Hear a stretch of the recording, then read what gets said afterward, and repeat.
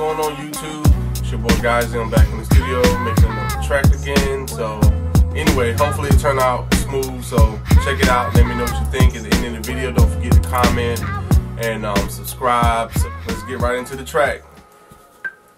Two, three, come on.